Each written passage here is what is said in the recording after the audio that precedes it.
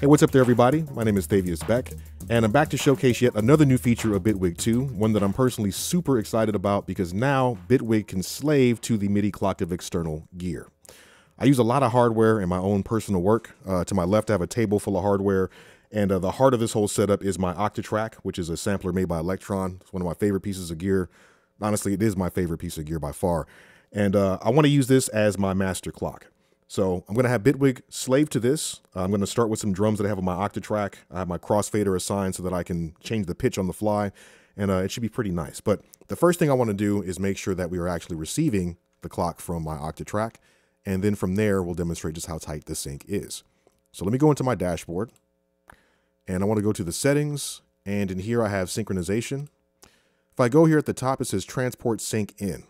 Now, normally this would be set to internal, which means that Bitwig would be the master clock, and that's basically it. But I want this to slave to my Octatrack, so I'm going to choose MIDI clock.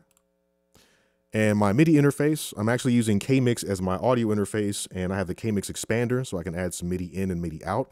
So KMix expander is my MIDI input. The output of my Octatrack, the MIDI out, is going into the KMix expander. So that's how Bitwig will receive the clock. So that's done. Let me go ahead and get out of this. There we go. And I think the easiest way to demonstrate how tight the sync is first is just to play the metronome from the Octatrack and then play the metronome from Bitwig, and you can hear if they drift at all or not. So first, uh, well, let me just point out, I have my Octatrack going into the hardware instrument device, which is right here. So we'll see the level from the Octatrack on this particular track here. So let me play the metronome.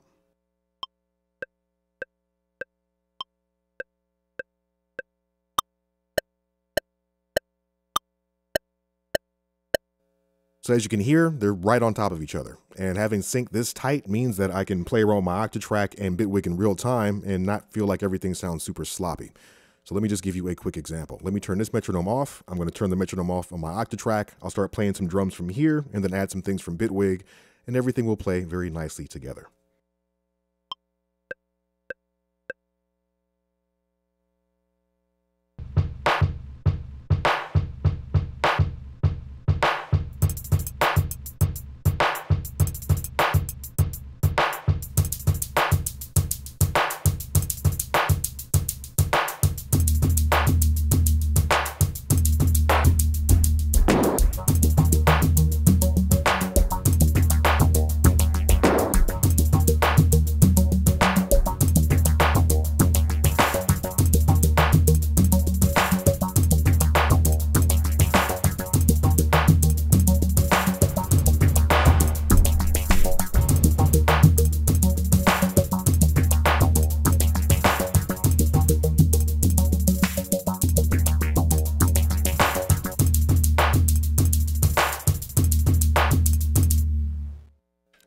I love it now because they're all just like best friends. They play so well together.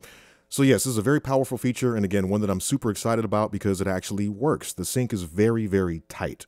So hopefully you'll be able to get some use out of this like I have. Uh, I want to start incorporating some of my other gear. I have so much stuff on this table, and uh, if it can play nicely with Bitwig, that makes my job that much easier. Enjoy the external MIDI sync. I know I will. Take care.